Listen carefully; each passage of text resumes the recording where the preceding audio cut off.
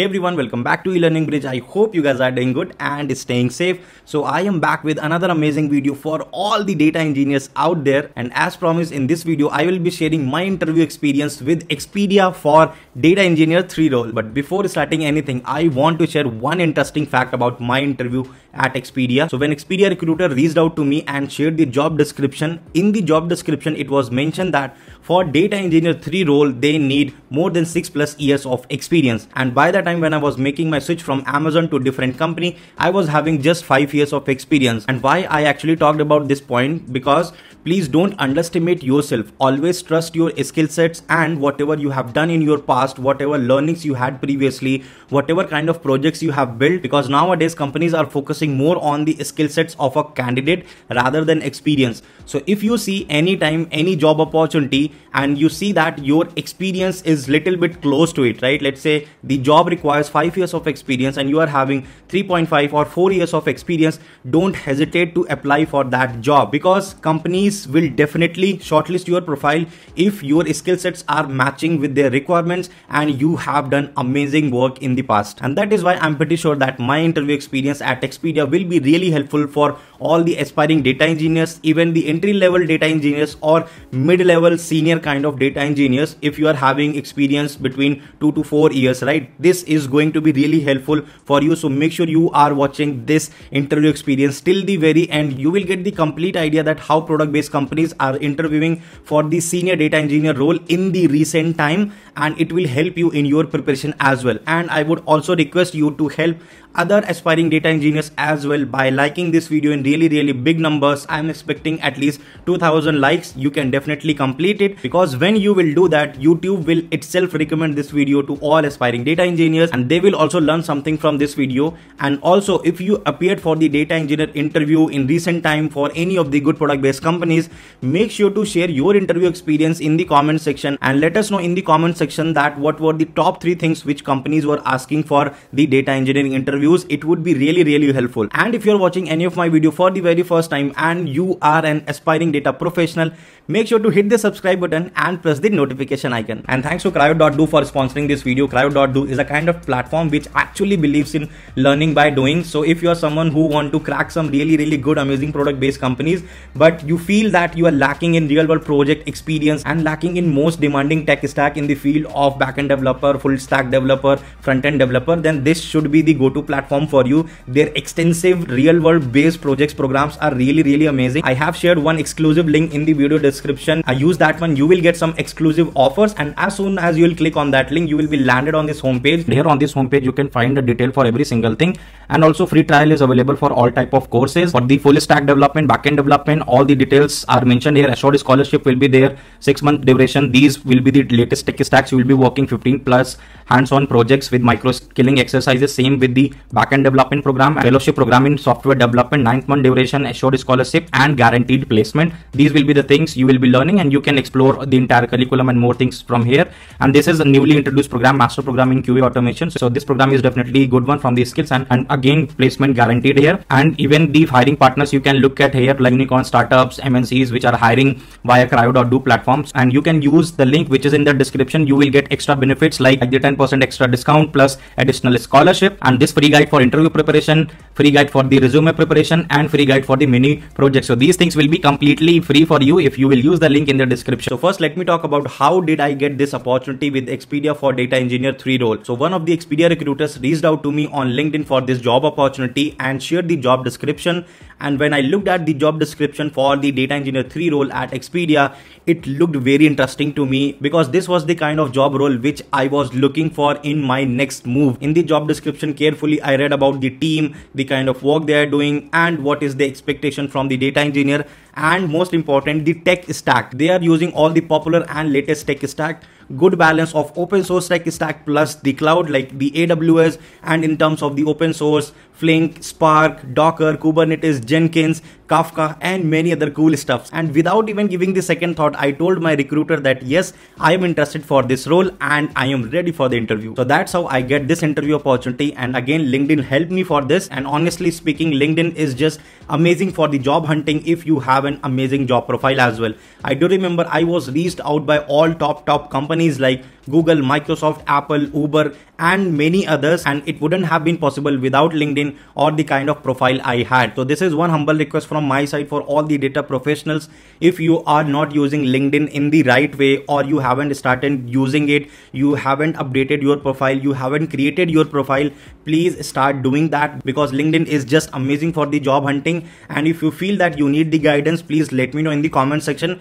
I can create a dedicated video where I'll be reviewing my LinkedIn profile, like what all things you need to update in your LinkedIn profile, how to create it, and whatever hacks I know about the LinkedIn, I will definitely share it with you. If you want that kind of session, let me know in the comment section as well. So in total, there were four interview rounds and each round was about 45 minutes. So I will start with the first one, which was more about the designing round, like the data pipeline design. So in this round, interviewer started with my past project, like what kind of projects I did in my past companies, what were the challenges and what was the most challenging project, what was my learnings, how did I even solve it, what were the data scale, like the complete understanding of whole project, their challenges, tech stack and what we were trying to build. So that was the first part of the discussion. And in the second, that was the most important one and I was drilled down for the real-time data streaming related concepts. The most important part in the real-time data streaming that was the Apache Kafka. So interviewer asked so many questions related to Kafka, its technical understanding, everything. So the important concepts were like the offset management, the commit, synchronous, asynchronous, importance of consumer groups in Kafka, partition assignment and reassignment of partition in case of addition and removal of any existing consumer from consumer group. So these were the some really amazing concepts concepts and also the scalability part. And again, there were some really good questions related to Docker, how to work with it and how to use the Docker in order to scale the real-time data streaming pipelines, the microservice kind of architectures and many other good questions related to the deployment, CI, CD tools. So this interview round was definitely very amazing. I love the question. I love the entire discussion. And also I would like to share few tips that how can you crack these data pipeline design related interview rounds. So the most important thing in these round is definitely your past experience, whatever you implemented and whatever kind of work you did in your past you can use those learnings here. In the design rounds the beauty is that there is no fixed answer for any kind of design right? So whatever you know whatever technical understanding you have just observe the problem ask as many as questions to the interviewer related to the design. And if you want to assume something just tell it to the interviewer.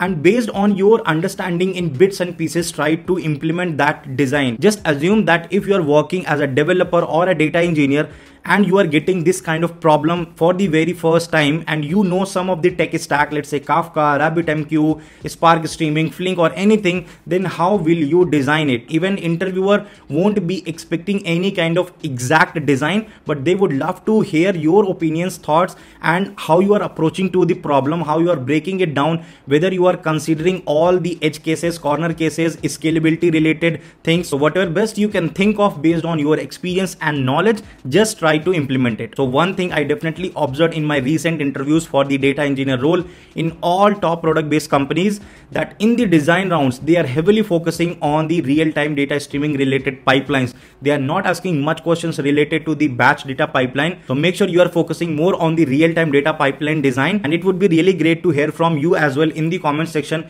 If you appeared in the data engineering interviews in the recent time, I'm not talking about the past, but the recent time like let us know in the comments whether they ask questions related to the batch pipelining or the real-time data pipelines. Now let's talk about the second interview round and that was pure programming or you can say the dsa related interview round. And again i would repeat my words that yes for the data engineers understanding of programming and data structures algorithm is definitely very important. And you can see the example. I'm in front of you expedia ask me these type of questions as well although i was in the mid senior level kind of experience. So make sure you are practicing dsa related things as well. And if you find it difficult you can watch my previous videos where i talked about the important topics to cover in python and also the important topics for the dsa related rounds for the data engineer roles. So watch those videos. It will be really helpful for you. Now in this interview round interviewer asked me two coding questions and both were i would say on the medium level not very hard level of coding question so the first coding question, it was related to the calculating the power of a given number, right? The statement looks easy and the first approach was definitely very easy but the interviewer asked me to optimize it. And there is a solution which is in the log n complexity. So i use that concept and solve that question. Now talking about the second coding question and that was a classical stack related problem. Like you will be given a infix postfix or prefix kind of notation and you need to calculate the result of that expression. And definitely it took some time for me to solve this question because i had to play around with some conditions but i was able to solve this question. So these were the two questions in this round and again the tip will be to think out loud whatever approach you have. Make sure you are just sharing it with the interviewer whatever logic you are implementing. Don't wait for the time like when you will complete the question then you will discuss it with the interviewer because this is the best strategy if you are explaining your approach. So whether you are on a wrong track interviewer can help you with some hints like you should also be able to capture those hints. So that would be the best tip from my side to crack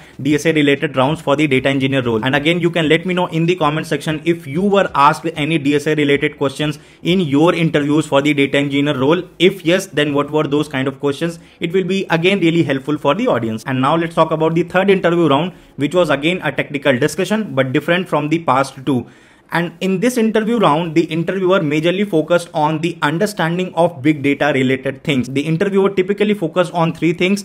First was the Spark, the understanding of the Spark framework. Second, again, few questions related to Kafka. And third, the SQL part. So for the Apache Spark, there were few standard questions and there were few good discussions around the out of memory error related to the driver and executors and the data skewness related challenges, how we will be solving it, like some optimized joins in Spark, how we can even optimize a given Spark application, which is taking a longer time to get finished, and also key sorting related techniques. So this was about the Spark framework. And for the Kafka, again, pretty similar questions like in the first round, offset management related things, consumer groups. And the third thing in the SQL, I don't remember the exact SQL questions, but I remember those were related to the joins and group by together. So that that was about the SQL and in the 45 minute of window these were the questions the interviewer asked me in the round 3 and now I will talk about the last and very very important round. Yes the hiring manager round. So again this round was also about 45 minute long and this was completely behavioral round right? There was no technical discussion.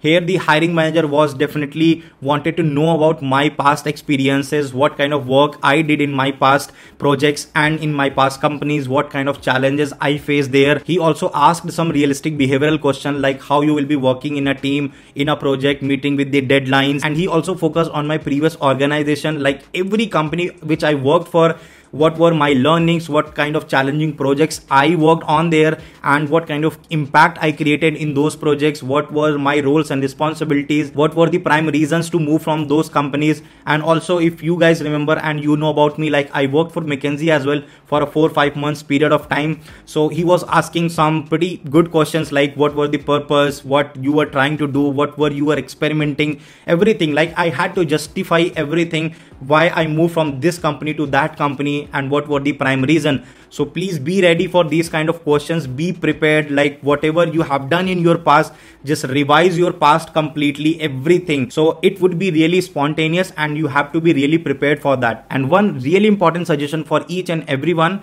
and that is this round is really really important for you as well because you are directly interacting with the hiring manager. So utilize this chance ask as many as questions you want. Like whatever you want to know about the organization about the team or the kind of product they are trying to build what kind of the role and responsibility you will be getting what kind of tech stack they will be using what is the future everything growth opportunities promotion cycles whatever kind of question you have just put it in front of the hiring manager. Because if you don't clarify your doubts in this round and you feel hesitant then you won't be able to make the decision that whether you should join this company or not. So that's what i had for you guys in this video. I'm pretty sure my experience for the data engineer 3 role at expedia will be really really helpful for all the aspiring data engineers and and even the mid senior level data engineers if yes and you find this interview experience really informative really amazing make sure to like this video in really really big numbers so that this video can reach to all aspiring data engineers. And also if you are watching any of my video for the very first time hit the subscribe button and press the notification icon for all amazing videos related to data engineering. And make sure to share your thoughts opinions about your recent data engineering interviews in the comment section. I will see you guys in the next week with another amazing video. Till then just stay safe, stay home, take care of yourself and your family too.